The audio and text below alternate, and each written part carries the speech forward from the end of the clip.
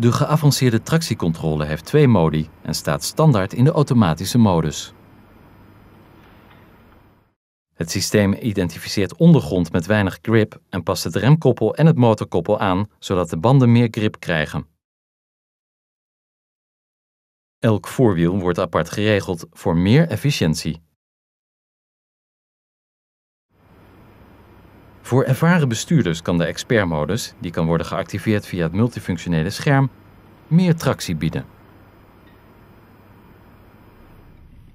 In deze modus is de remkoppelcorrectie actief en behoudt de bestuurder de controle over het motorkoppel via het gaspedaal. Boven de 40 km per uur keert het systeem automatisch terug naar automatische modus en wordt er een informatiebericht weergegeven op het instrumentenpaneel.